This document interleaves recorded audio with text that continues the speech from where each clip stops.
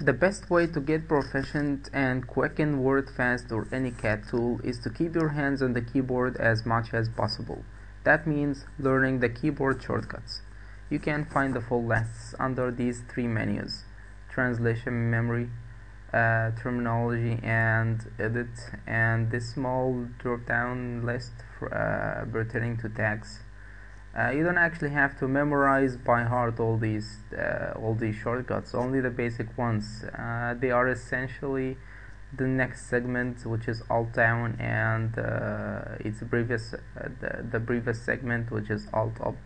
Uh, translate until fuzzy and um, yeah translate all and uh, commit all segments to TM. I'll be explaining what these terms commit and fuzzy mean in, in the next pages inshallah. And of course the TM lookup shortcut, uh, edit and uh, yeah this one also copy source which is alt insert and tags the previous tag and next tag shortcuts and the copy tag shortcut. Uh, you don't have to memorize those. So let me show you one of these shortcuts so perhaps you're uh, suppose that you're translating this segment um, yeah so and you want to move from this segment to the next one or to the previous one. And the, the shortcut for this is from the translation memory menu which is the next segment or previous segment. Alt up alt down. Yeah and this one which is copy source. Yeah.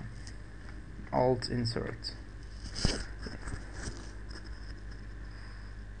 I advise you to save the file uh, work your work on file every couple of minutes so you don't lose your work in case of a system crash or a power outage.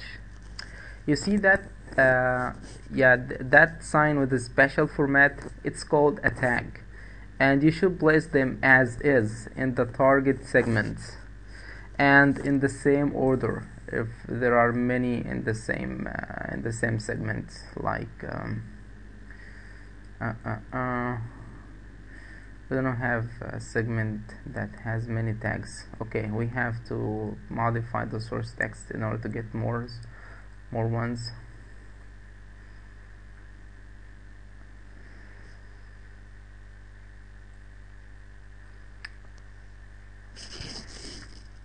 yeah for example yeah let's make it bold.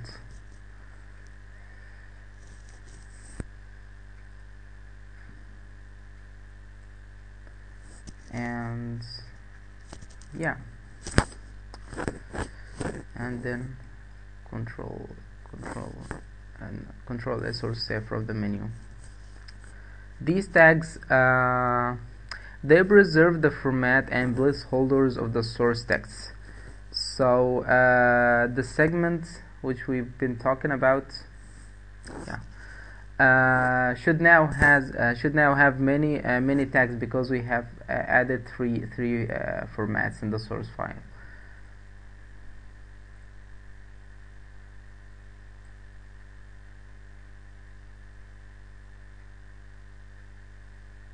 Yeah so if if uh, if a if a segment like this has many many tags that means that the segment is is infested with uh, with formats. In this case I advise you to copy uh, the source with alt insert the keyboard shortcut. So you don't have to to place each and every tag uh, individually. If you're curious about the exact content of the tags hover over any and the tooltip will pop up showing the content within. So for example this one if you remember we added a bold effect to the word managers in our source uh, Microsoft Word file.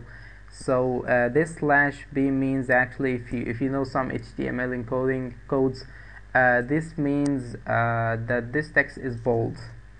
Uh, yeah for example also this one means that the, the, the font used for this word is Times New Roman and its size is 12 and it is not a hidden a hidden uh, text. You don't actually have to know the content of text, but if you're curious, you know uh, you know uh, how to do it. and it is worth noting that it is common in English to allocate a tag for the ampersand sign. This one is called an ampersand sign.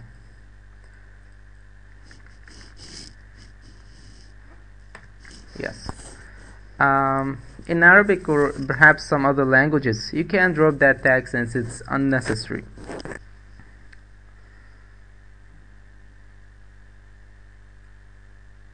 You see this pane on the right side. It's the outline of your file. You can select from here which categories of the file you want to view. This comes in handy if your file is a lengthy one or if your project is a bulky one. Uh, show all uh, if you wanna view only the 100% or the fuzzy or no match or empty target. I will be explaining what these terms mean in the next videos inshallah.